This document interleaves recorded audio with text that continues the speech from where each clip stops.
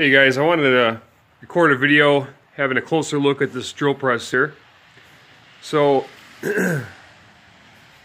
basically, this top portion here, I believe there used to be a crank or some sort of handle attached here and that's what broke off.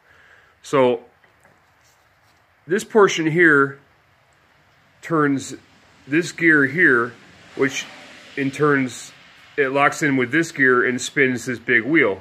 Now that controls the drill portion.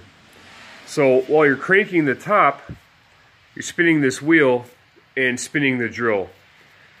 This wheel here simply controls the elevation of the uh, of the drill. So if you wanted to drill down, you would spin uh, clockwise and lower your drill.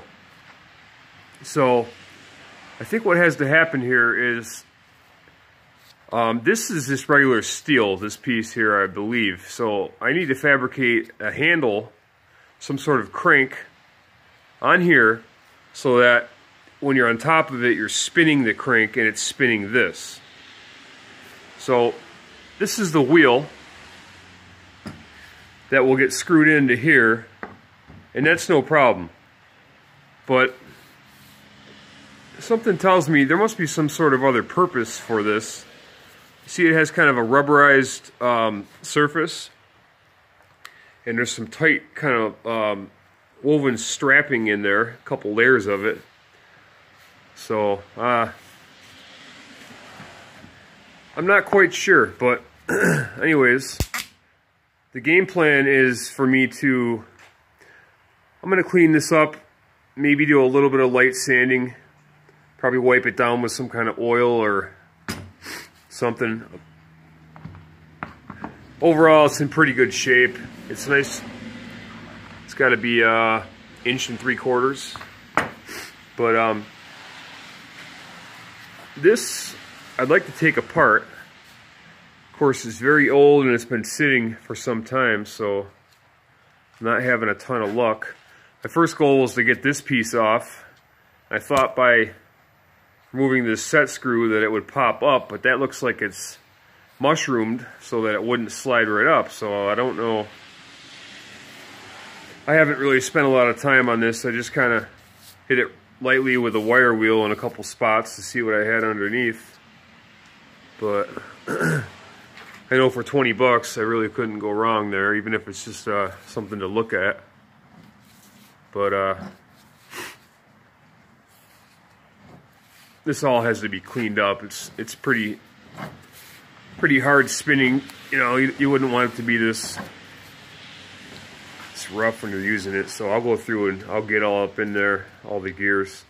I'm, I'm going to try my best to take it all apart, but sometimes with this older stuff, you don't have that look on your side. So, but I don't see any maker marks. I don't know the manufacturer although I'd like to.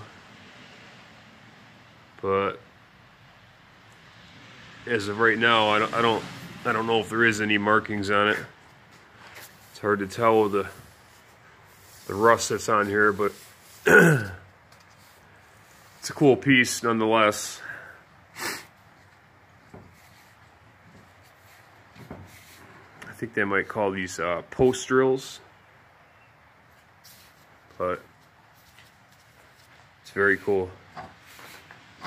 But yeah, just a quick video, a little more in-depth look at this thing. So, what I'm going to do is uh, spin this a little bit. You can see that there's existing holes that were uh, that were used, and the wooden wheel was screwed on, and you know the screws were stripped out over time. So, I'll just give it a little quarter turn, and. Uh, do some light pilot holes in the wood and create some new mounting holes for this. Get that nice and perfect. And that'll be on there tight. So, but check out this wheel. It's cool stuff. Yeah, like I said, the vendor wanted to uh, turn this into a table lamp. He said he was going to have his buddy sandblast it, and uh, you know, I, I was like, oh, no, no, no, no, no. So,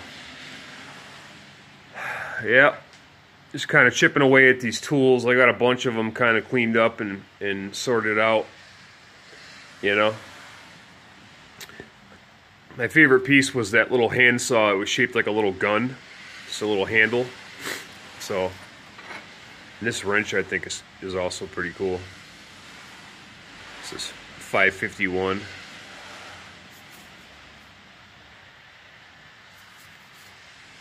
So, appreciate it. Got to get ready for work here. Hope everyone has a great night.